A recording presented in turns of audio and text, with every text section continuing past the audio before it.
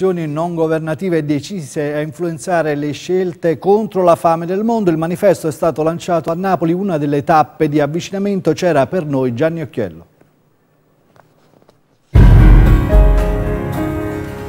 Di fame nel mondo si continua a morire.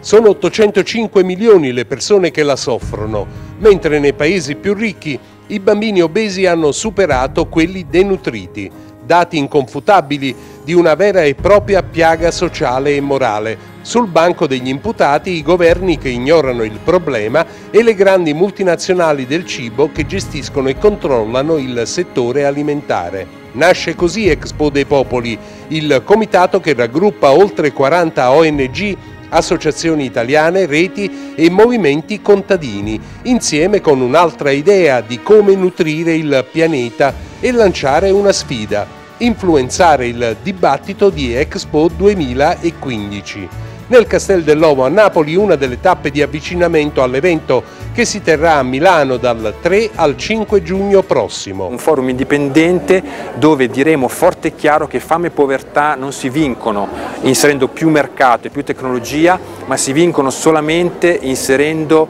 eh, più diversità e più democrazia, garantendo la partecipazione dei, dei, dei, contadini, dei, degli allevatori, dei pescatori di piccola scala, in tutto quello che è la governance del cibo. Alla serata esperti e rappresentanti impegnati sul delicato tema dei diritti umani alla nutrizione e ai beni comuni, tra gli altri lo scrittore storico inglese Tristram Stewart, autore del libro Bust Uncovering the Global Food Scandal e attivista del Free Games, uno stile di vita per combattere gli sprechi alimentari della grande industria e del consumismo. Il cibo, ritenuto di scarto e buttato via, diventa così la fonte primaria per alimentarsi. Dobbiamo diffondere la voce su questo scandalo mondiale. Attraverso la campagna Feed 5000 abbiamo dimostrato che è possibile nutrire una larghissima maggioranza di persone con il cibo che viene sprecato. Altre campagne e movimenti stanno diffondendosi in tutto il mondo.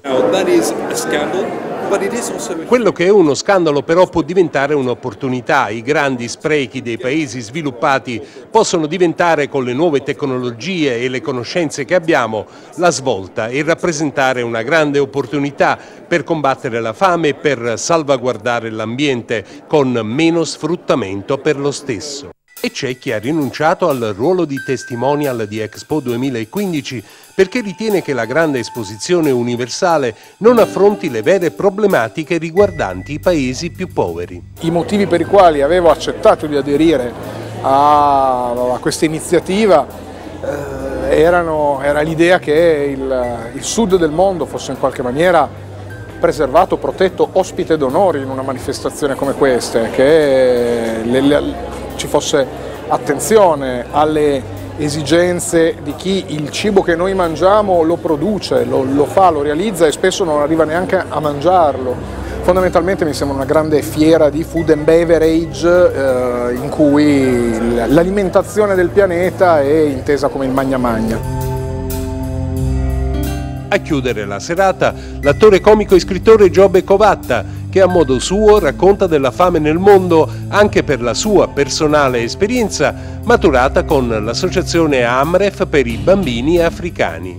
Siamo qui all'Expo dei Popoli che è, come dire, un, uno spin-off non è che una cosa che si fuma, è una, parte, una cosa a parte del, dell'Expo, diciamo, no? che, che come tutti sanno si pone come obiettivo ultimo di sfamare il pianeta. C'è cibo sufficiente per sfamare 11 miliardi di persone, noi siamo 7 miliardi, quindi dal punto di vista puramente teorico sfamare 7 miliardi di persone è facile.